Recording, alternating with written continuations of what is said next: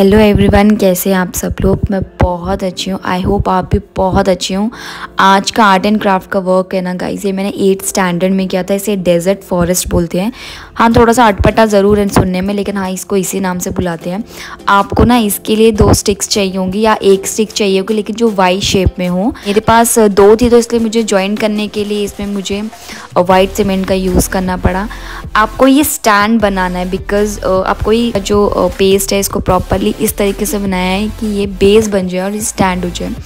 After that why shape वाले जो part है ना, उसके लिए लेडी बग बनानी है। uh, मुझे सबसे ज़्यादा पसंद है लेडी बग बनाना तो मैंने यहाँ पे दो लेडी बग्स बनाई हैं। इसको ना प्रॉपर अच्छे तरीके से ड्राई होने दें और ड्राई होने के बाद ही हम इसमें पेंट स्टार्ट करेंगे। तो ड्राई होने के बाद मैंने इस पर ब्राउन कलर का पेंट करा है नीचे की तरफ़ को। और एक्चुअली मैंने पूरा ही ब्राउन करा है। बस जो लेडी बग्स हैं ना उन लेडी बग्स का जो मैंने कलर है वही कलर करा है। प्रॉपर ब्राउन करने के बाद ना आप इसे थोड़ा सा ना सोखने दें। इसमें ना मैंने फैब्रिक कलर का यूज़ किया है। मैंने कोई पेंट या वाटर कलर नहीं है। फैब्रिक कलर है। पूरा कवर करने के बाद यहाँ पे मैंने कम से कम दो कोट करे होंगे क्योंकि फ़र्स्ट कोट में तो आ, मुझे तो विजिबल हो रही थी तो मैंने दो कोट कर लिए।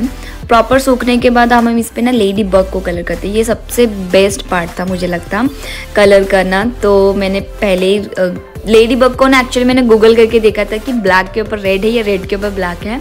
तो रेड के ऊपर ब्लैक था रेड के ऊपर ब्लैक कलर की स्पॉट्स थे मतलब पॉल का डॉट्स थे। तो पहले मैंने रेड कलर कर लिया देन उसके फेस बनाने के लिए मैंने ब्लैक कलर का यूज़ किया है। और ये सारे कलर जितने भी मैं यूज़ कर रही हूँ ये फैब्रिक कलर हैं। ब्लैक कलर का फेस बनाने के बाद इसको थोड़ा सा ड्राई होने दिया क्योंकि फैब्रिक कलर थोड़ा सा टाइम लेते हैं सूखने में। आफ्टर दैट मैंने सेम ब्लैक कलर से इनके पॉल का डॉट्स बनाना स्टार्ट कर दिए गाइज़ और ये मैंने रेंडमली बनाया है क्योंकि ऑफकोर्स नॉर्मल सी बात है पॉल का डॉट्स मतलब डॉट्स जो स्पॉट्स हैं लेडी बग में वो ऐसी नेचुरल होते तो मुझे ना चाहती थी कि नेचुरल लगे, ऐसा आर्टिफिशियल सा ना लगे।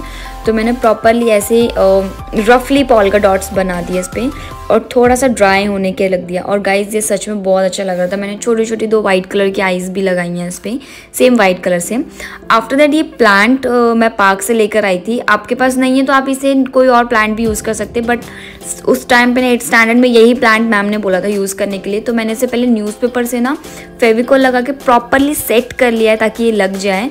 उसके बाद ये मैंने लीफ टेप से मैंने कवर कर लिया है गाइस उसके बाद ड्राई होने दिया। देन आफ्टर दैट मैंने दोबारा से उसे ब्राउन कलर का पेंट कर दिया। गाइस बहुत ही ज़्यादा अच्छा लग रहा था। मैं सही बता रही हूँ।